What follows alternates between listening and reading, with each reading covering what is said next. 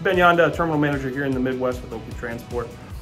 Uh, we focus on getting you home, getting you paid, potential to earn up to $400 a day. If you need anything, give us a call. We'll try to help you out. I think the most important things, communication.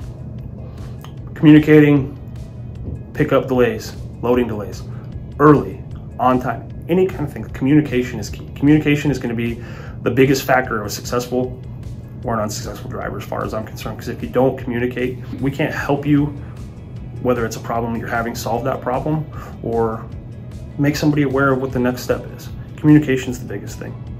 Um, dedication to work, right? Being dedicated, you know, your word is important. It comes back to communication, right? Your word is important. I say I'm going to be ready Monday morning, be ready Monday morning.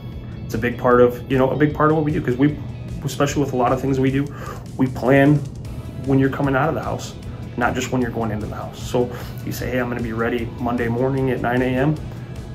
Be ready. As long as you're ready and available and able to do the task that's in front of you, that's a big portion there too. Come drive for us. We we we have work for everybody. You know, it's it's there's there's no shortage of availability. There's no shortage of work. There's not going to be time when you're sitting down and you don't have something to do. We have something to do always. There's always going to be work available, and that's it's a, a great problem to have. Um, but it's a problem that needs solved.